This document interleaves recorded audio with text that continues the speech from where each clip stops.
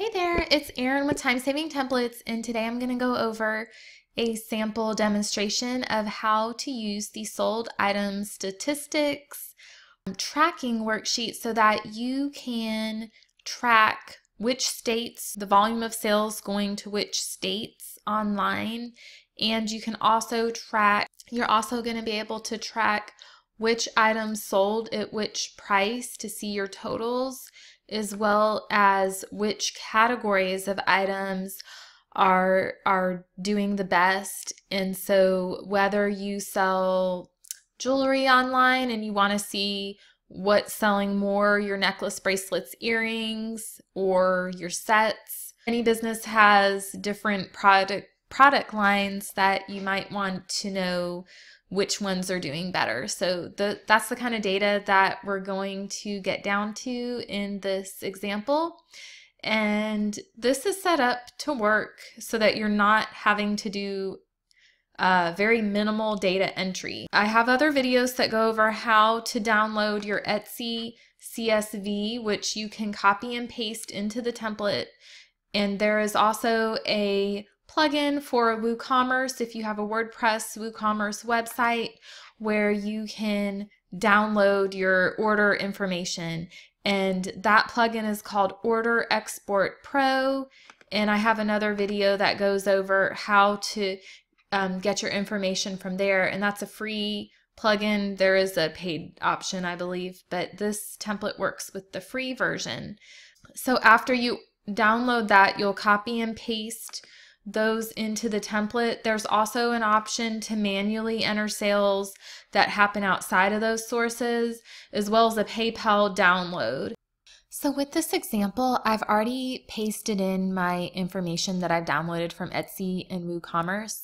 Um, but when you get the template, it does come with uh, PDF directions and also link to, I'll do some other videos as well that show how to download your information from those sites and how to copy and paste that into the template. So, but for the sake of this video, I already had it pasted in, but just wanted you to know that when you get the template, there are directions on how to do that. So first off, you're going to need to enter, decide on and enter your categories in the category summary page.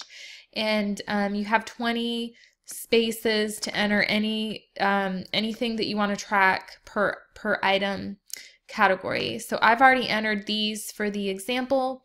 Going through this, I'm going to then assign the category. So Airbnb is a rental template, and then you just um, highlight at the corner and drag it down to the cells that it applies to. And then the next one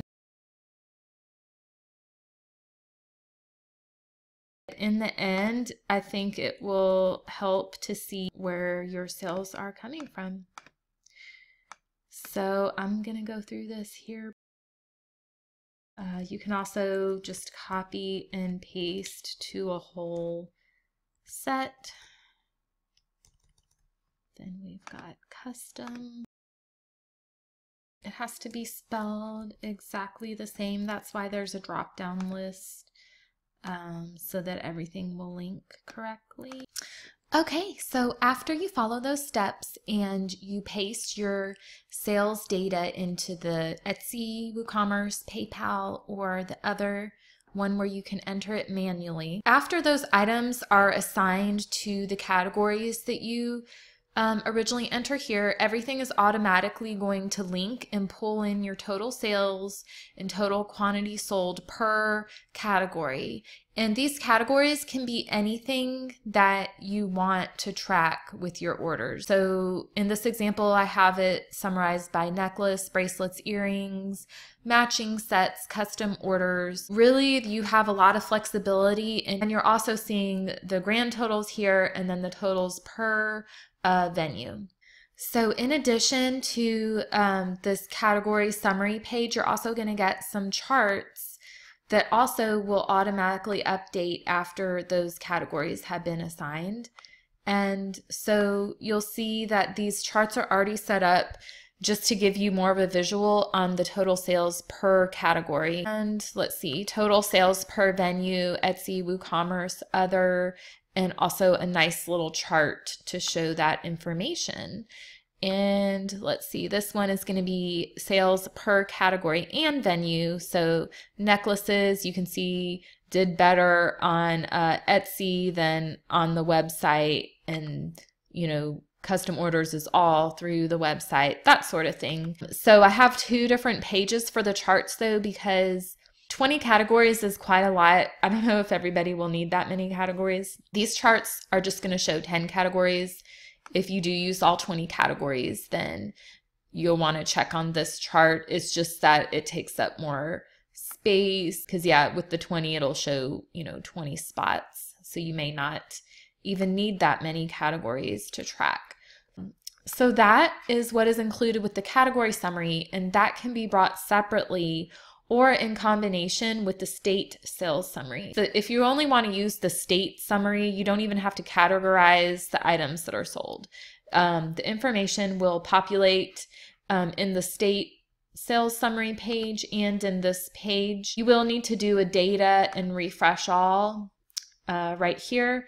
Anytime new information is added or anytime you paste information in, you'll need to refresh it in order for everything to update. After that, the states are already listed out here and your information will just get summarized so you can see your total sales sales per state. You can always check it in the tables page. You can also change this filter. I have it set for United States if you want to you know, review sales made to another country, you can change that filter to see the information for that.